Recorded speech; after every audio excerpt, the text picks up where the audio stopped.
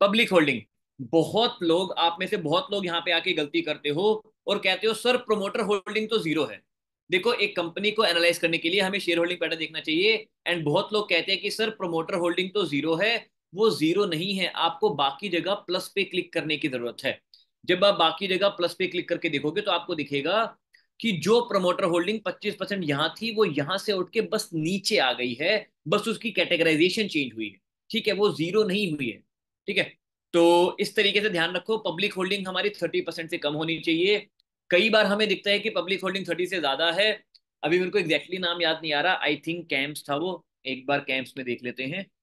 क्योंकि कैंप्स मेरे को याद है, मैंने छब्बीस के लेवल पे डिस्कस किया था। अभी चार हज़ार समथिंग चल रहा है। मैं सारे प्रॉफिट बुकिंग कर चुका हूँ। I am not invested in CAMS as of now CAMS को हमने जो है नीचे अच्छा कहा था, यहाँ कहीं बाय किया था अच्छे से। ऊपर बढ़ ऊपर पहुँच गया। प्रॉफिट बुकिंग हो गई। बुक करो, निकलो।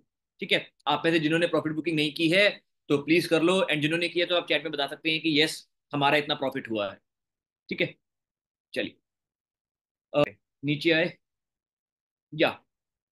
इसको एक्सपेंड करता हूँ वन सेकेंड हाँ तो बेसिकली मतलब जैसे छोटा सा एग्जांपल है, यहाँ पे हमें लग रहा है कि पब्लिक की होल्डिंग चौदह परसेंट है, लेकिन जब तक एक्सपेंड नहीं किया था, तब तक हमें लग रहा था कि चौबीस परसेंट है। द मोमेंट मैंने इसको एक्सपेंड किया, मेरे को दिख गया कि ट्वेंटी फोर माइनस थ्री यहाँ पे जितने भी नाम से यार, ये कहीं ना कहीं बिग प्लेयर्स के ही नाम से ये प्लेयर छोटे मोटे प्लेयर्स नहीं है।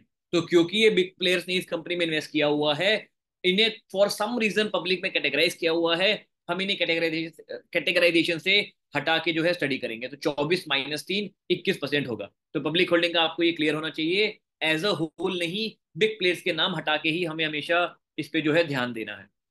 ठीक है?